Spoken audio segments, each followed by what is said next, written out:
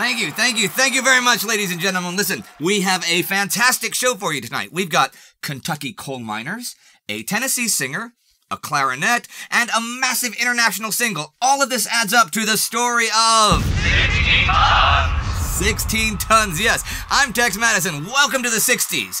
One, two, three, four.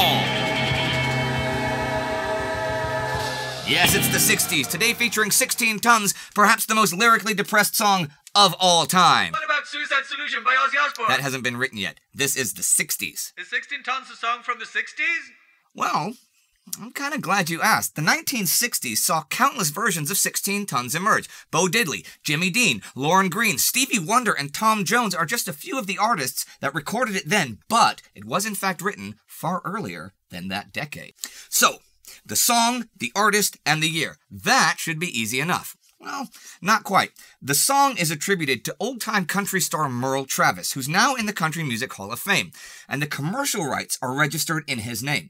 He first recorded it August 8, 1946, in Hollywood, California, for his album Folk Songs of the Hills. The song is about the life of a coal miner based on life in the coal mines of Muhlenberg, Kentucky. Thing is, George S. Davis, a folk singer, claimed on a 1966 recording that he had written the song back in the 1930s, though it was called 9 to 10 tons. At another time, he claimed to have written it as 21 tons. Now, there is no evidence to support this claim, though Davis had actually worked as a Kentucky coal miner.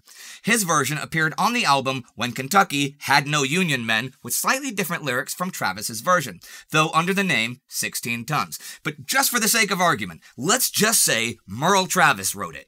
Merle Travis wrote it. And let's just say he knew what he was talking about. He knew what he was talking about. And let's just stop doing that.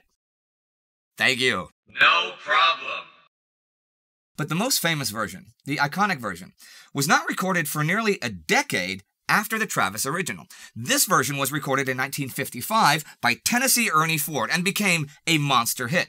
Funny thing though, it was recorded as a B-side and was not intended to be a hit, but hit it was. Released October 17th, it shot to number one on the Billboard country charts in November and held that position for 10 weeks. Then it crossed over to the pop charts for 8 weeks. It even crossed over to the UK, where it held the number one spot for 4 weeks in January and February 1956. I want to hear about the depressing lyrical content. Of course you do, Little Miss Lonely. And here to tell you about the life of a Kentucky coal miner is Kentucky coal mining correspondent, you. Are you still there, Little Miss Lonely? I am indeed. Great to be here. And where exactly is here? Here is Kentucky mining country. Where is in front of the company store, and when is the early 20th century. Okay, I see. And and uh, why? The song repeatedly refers to what was known as the truck system. Under this system, the coal miners were not paid in cash, but with non transferable credit vouchers that could only be used by goods at the company store.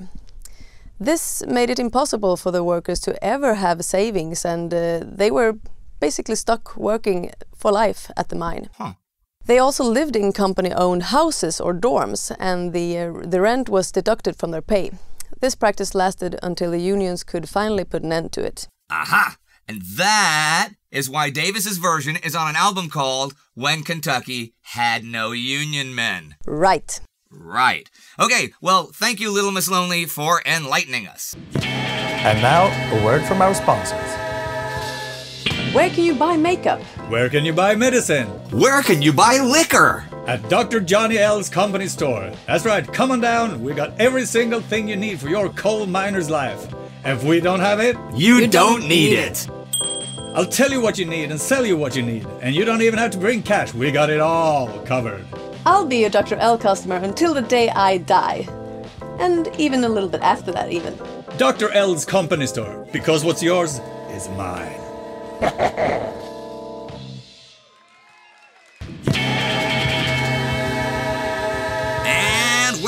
ladies and gentlemen, still talking about the smash hit 16 Tons.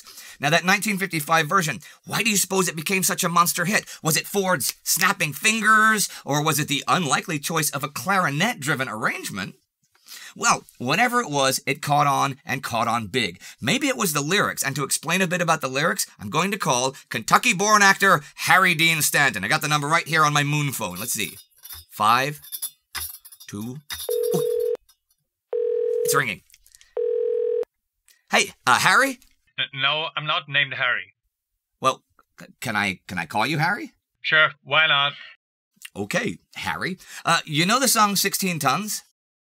Oh yeah, it's a classic. You know the line, uh, "You load 16 tons, and what do you get? Another day older and deeper in debt." It came from a letter written by Merle Travis' brother John. I was not aware of that. Another line was inspired by his father, who was a coal miner who said things like, "I can't afford to die. I owe my soul to the company store." So that's where that came from. Right. Yeah,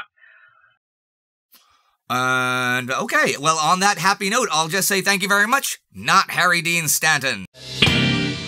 Okay, time's up, folks. That's all for now from the 60s. No, it's not. No, it's not. It's not? It's not. Nope. Hi, I'm Dr. L of the Mad Men Band, but that's not important. What is important is these two things. John Denver recorded a parody version of the song called 18 Holes, which is about golf. I'm stunned. Saint Andrew, don't you call me cause I can't go. I owe my soul to the country club pro. This will cheer you up, Tex. There is a club called 16 Tons in Moscow, and the Ford version is played before each and every concert held there. Yeah. Yeah. That did the trick. You're welcome. All right. Well, ladies and gentlemen, our time really is up for today. But I'd like to thank Little Miss Lonely, Dr. Johnny L, the Mad Men Band, not Harry Dean Stanton, and of course our sponsor, Dr. L's Company Store, and our producers, Porter and Terrell Syndrome, Tinstream, and Megapixel. Now, if there is anything else worth knowing about 16 tons that we haven't covered, or if there is anything else on your 60s mind, Tell us in the comments. Listen to the Mad Men Band's version of 16 Tons right here, and listen to a few other versions like Merle Travis or Tennessee Ernie Ford's right here. Do not forget to subscribe, and remember, you are always welcome back to the 60s. See you soon. A one, two, three, four! Well, well, well,